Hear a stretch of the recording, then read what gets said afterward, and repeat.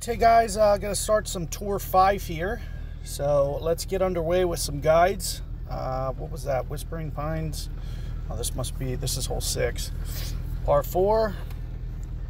So what I like to do on this one is I actually like to get it up here as far as possible.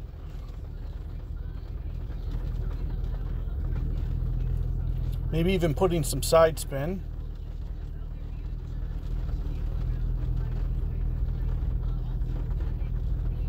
So here you can see we're just going to try to land left of this tree a little bit. Hopefully it curls over. I don't care if I run out of fairway. It's not really a priority to me. Um, I feel good enough about the pitch from the rough. I'd rather almost have a straight angle, regardless if it's fairway or not. I, I, I like getting up here and just having kind of a straight view down at the hole. And I can usually play the front of this green, a little bit of spin. And it usually runs out pretty good. So somewhere in here, we won't need a very large adjustment for the wind because there's not it's not going very high in the air. So you'll see that I just kind of gently move it over. Ah, it's way early on that timing. But you can see it's rolling out pretty good. With perfect ball, we would have given ourselves a pretty good chance. Could have got that ultimate there.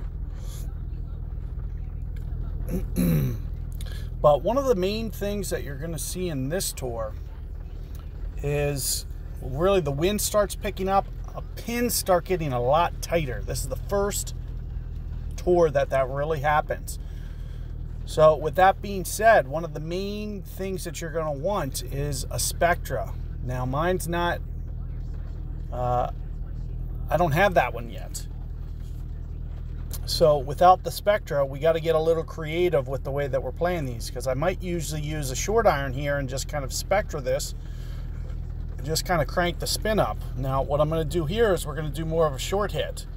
And you can see I actually drew a pretty easy wind.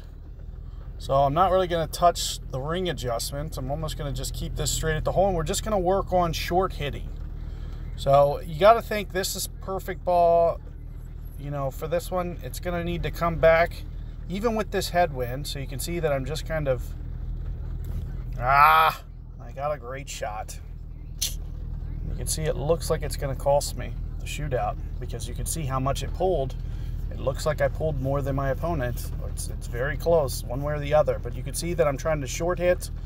Um, you know, we hit we we hit our uh, ultimate shot, we easily pick up that win. So those are the things, um, you know, that you want to focus on. The ultimate shot is so critical in this game. You can see, you know, we both missed it, and it just became, well, who who missed it worse?